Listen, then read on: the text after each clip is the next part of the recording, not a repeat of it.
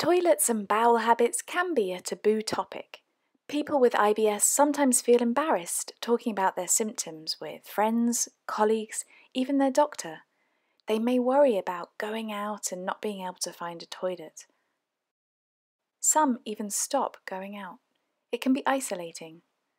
But over 12 million people in the UK have IBS.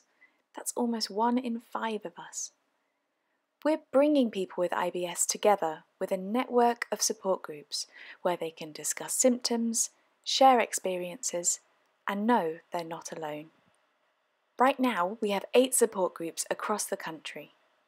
But we want to do more. We want to set up more support groups and help more people with IBS to live well. Despite being the national IBS charity, we receive no government or NHS funding. Leaving even a small gift in your will makes a huge difference to the number of people we can help. It means we can make sure that no one with IBS feels alone.